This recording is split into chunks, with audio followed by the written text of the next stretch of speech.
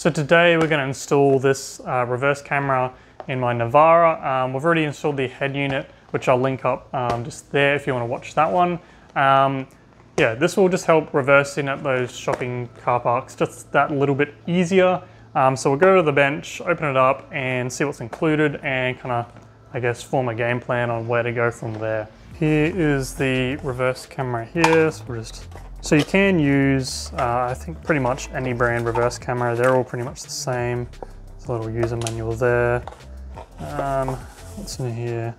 Oh, so there you go. There's the actual reverse camera there. Um, and then obviously here's all the wine.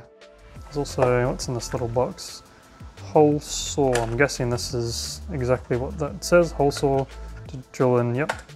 Um, to get that nice hole, I guess, for the uh, little camera there.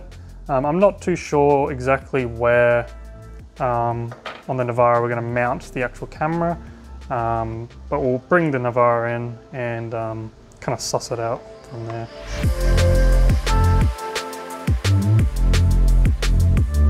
Okay, so I've just sussed out the wiring here, so I'll just um, take you through it for this specific uh, reverse camera. I'm guessing it's probably going to be the same for most reverse cameras you can get, um, but pretty much um, there's three little kind of wiring um, bits you get with it. The first one is this huge long one.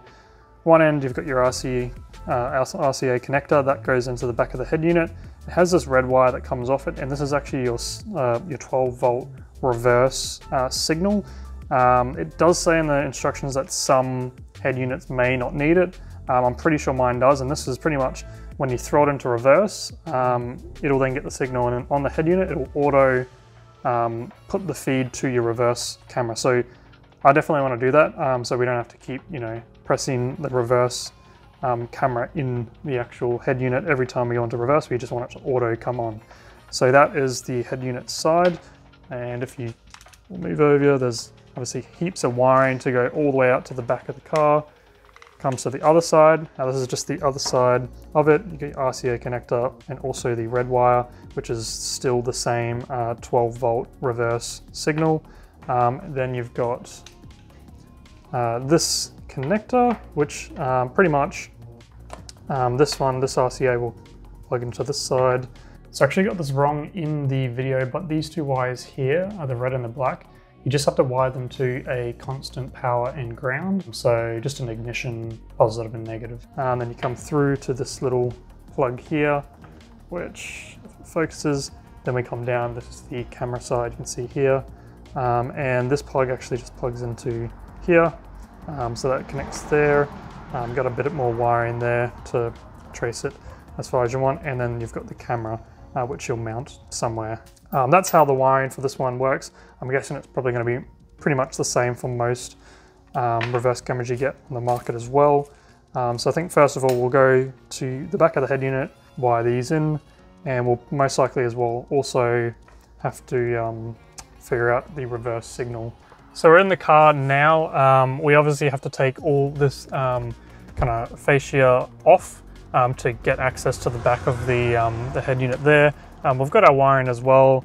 And to do this in just the D22 Navara, uh, it's pretty simple. You've just got two little screws here and then it's pretty much just all clips. So take those screws off and it just pops straight off. Now when it comes to popping off the fascia, if you've got a trim removal tool, um, try use that just because it doesn't mark up um, any of the fascia. If you don't have one of these, you can just use a, a flathead screwdriver that does the same trick. Uh, just be careful, you can scuff it up a fair bit.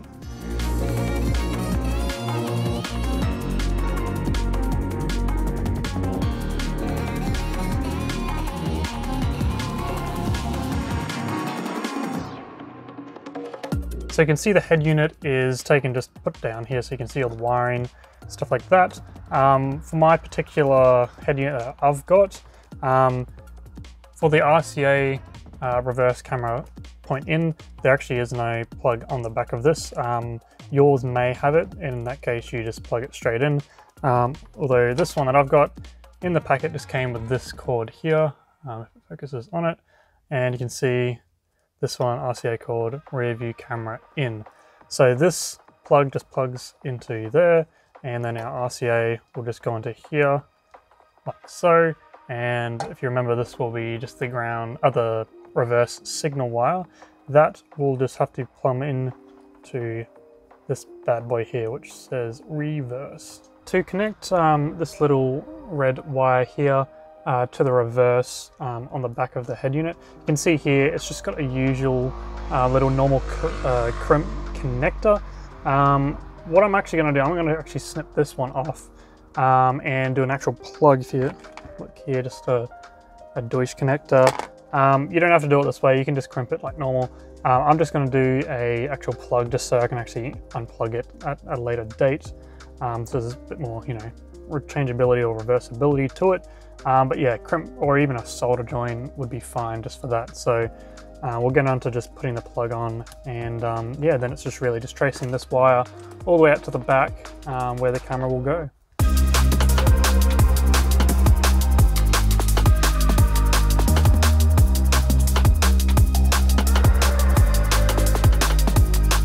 Okay, so I've just connected the uh, wires in the Deutsch connector there. Um, and I've just put all the wires together because I'm just going to test, see if it works. Now, it did take me a while to test it. So if you, I mean, this one's really long. Um, I've plugged RCA in there. Um, there's one of the red ones there.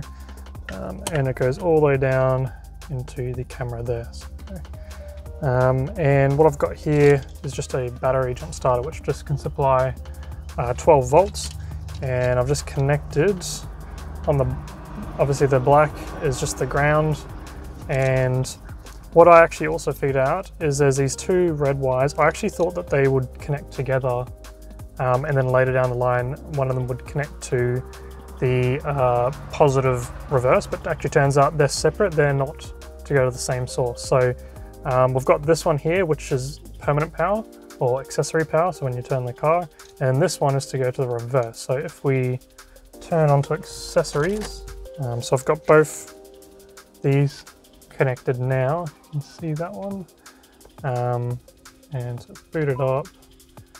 And so it doesn't go to reverse camera because it's not sensing a 12 volt in this wire here um, from the reverse. But if you go, whoops, um, you can go to the camera view Um, and if we supply power, there we go. That one's working there.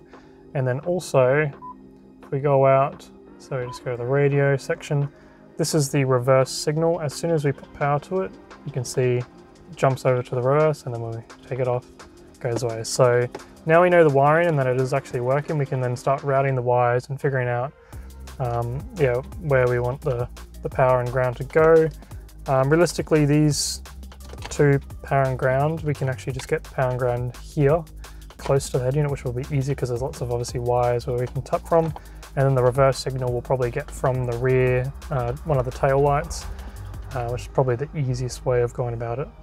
So for these wires that has the accessory constant uh, power and then the ground, I've decided rather than um, tracing the wires, I'll actually get the power from the back of the head unit um, just because it's really easy and accessible. Um, I've actually just got some leftover wiring that um, I had laying around. We've used this um, for power and ground and we'll trace that out the back with this other wiring.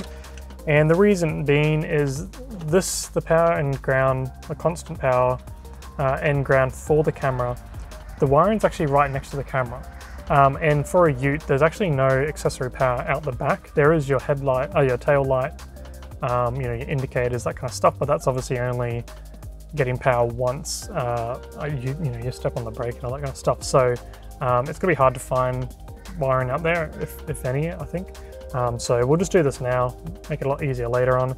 If you're doing this in like an SUV or a regular car, um, you know, at the boot, you've got your, you know, your little accessory light when you open the boot, that kind of stuff, which um, means you could use that easy as, but yeah, because it's a ute, um, it just makes it a bit harder. So we've wired those in here, just um, tapped into the back, and yeah, now we'll start tracing the wires out to the back.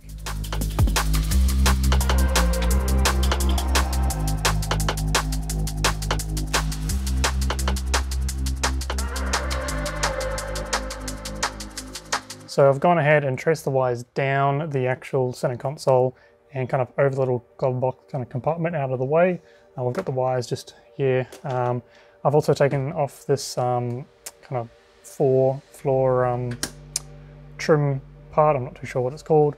Um, just so we can lift the carpet up just a little bit. There's actually already factory wiring and harnesses through there, so we'll just follow those wires uh, with these ones.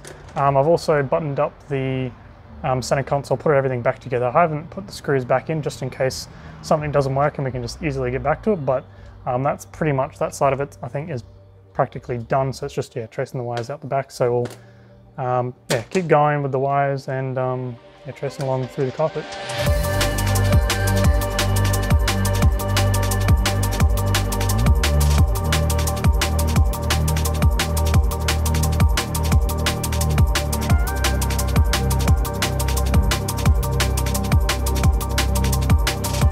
So I've traced the wires all the way back to just behind the back seat here.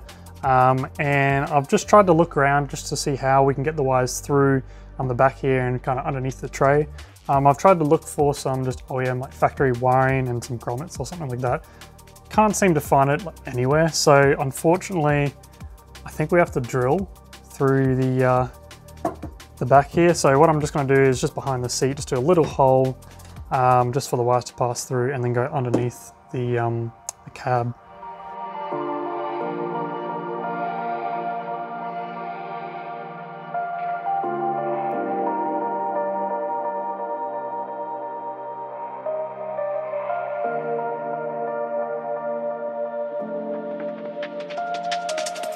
Drilled the hole, traced the wires through. I've just got a little bit of a hose there just to protect the wires. Um, and then what I'm going to do is just get some silicone and seal around um, that there just so there's no water coming in or anything like that. Um, so now we can go down, the wires just droop, droop straight to the ground at the moment, so we'll just then start wiring them underneath the uh, cab there and out the back and get onto mounting the camera. So you can probably tell um, the camera might be a bit shaky, I'm under the car now. Probably could jack it up, give me a bit of extra space, but I can't be bothered. Um, you can see behind me, oh, you can see those, focus on it, the red wires are just dripping down there, so I'll have to just look up there. And I've got a load of zip ties that will just try and um, hook up and um, yeah, just trace the line through the, uh, the cab here underneath. And obviously staying away from any moving moving parts or anything that'll get hot, um, anything like that. So um, yeah. So I've kind of gone ahead and just uh, wired all the wiring, um, just tracing it through under, under the uh, underbody of the tray.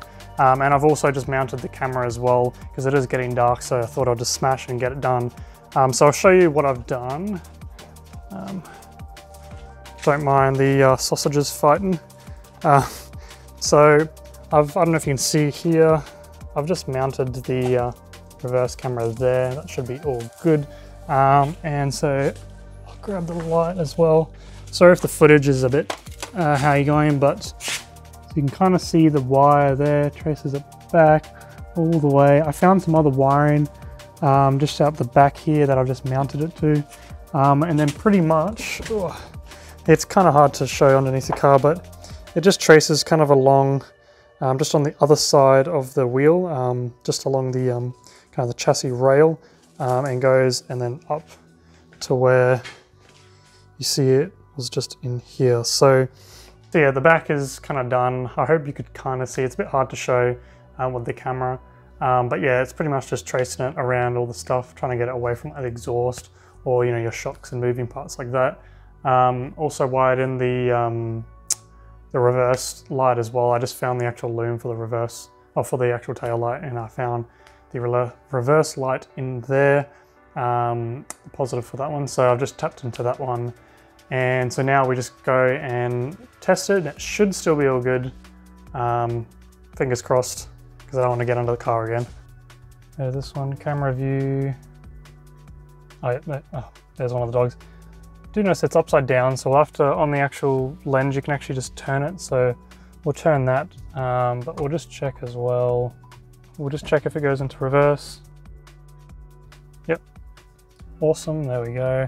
So this you can actually rotate it. So just sit you down for a sec.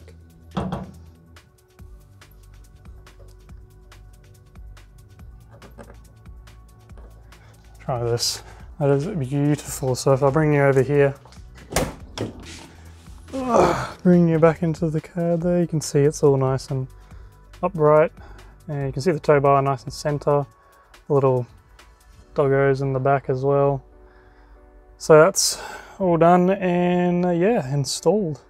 So it's in, wired up and working great. So this uh, Navara can um, reverse with a camera, which is uh, nice and handy, especially I don't drive utes that often, so it's hard to judge where exactly the tow bar is. And especially if you if you tow a lot, it's nice, like especially the, the position I have it at, where it's looking down at the tow bar. Uh, I'm, I'm, haven't towed anything yet, but I'm sure it'll make it a lot easier lining that tow bar up. Um, but yeah, it took a lot longer than I thought, to be honest. Um, took me all day, and I thought it'd probably take me only like a two hour kind of job, but uh, it was mainly just trying to figure out how to wire the wires or tracing the wires through the car um, in a nice and clean manner so don't, they don't get caught on anything. And especially under the, uh, um, the uh, what do you call it, the tray and just trying to keep it away from moving parts like your uh, shocks and stuff like that, as well as your exhaust because you don't want to melt the wires either. So, but yeah, it's, it's all done, uh, working great. Um, if you enjoyed this video, hit the like button, comment down below, and subscribe if you haven't. Otherwise, we'll see you in the next video of Project B.